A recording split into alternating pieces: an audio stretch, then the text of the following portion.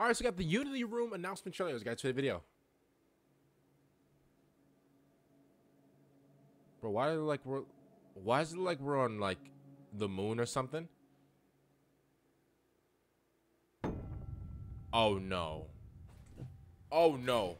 Bro, we're on Neptune or something. Oh, we're legit on Neptune. Bro, we are literally on Neptune, bro.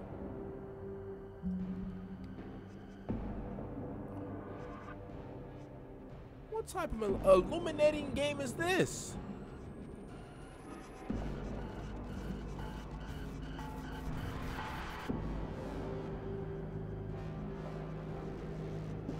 All around me are familiar faces. Run! Oh my god!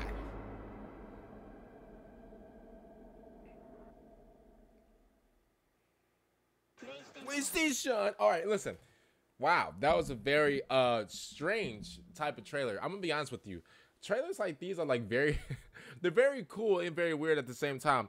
I don't know why, but I thought we were like on the like, on like the moon or something. Like it, like the first part was just like like bro, we're we're it was like just just gray everywhere, but like it was black at the same time. I'm like, bro, we're like are we in space? Like hello. Um, other than that, if you guys didn't know, that is on VR. Um, I'm gonna be honest with you, bro. VR, I see VR taking a, a very, very, very um just huge bump in the future, if that makes sense. I feel like a lot of different games that we play now are gonna be like uh, are gonna be able to like to play like in like in, on, on like VR. I don't know how that makes sense, but bro, anything is possible, bro. Because the fact that like if you was to tell a person like 20 years ago that we're gonna have headsets like on top of like our heads, whatever, and like we're gonna like play games and like like just a virtual reality, like like no one will believe you. But like that's what we have today. Other than that, comment down below. What do you guys think about the Utility room? I'm gonna be honest, it was very um weird, but also I'm gonna be honest with you, it looks fun. It looks fun and scary, which is odd coming from me. You guys know I don't really like scary things at all. But again, comment down below. What do you guys think about the Utility room? So you guys are there for next to them out and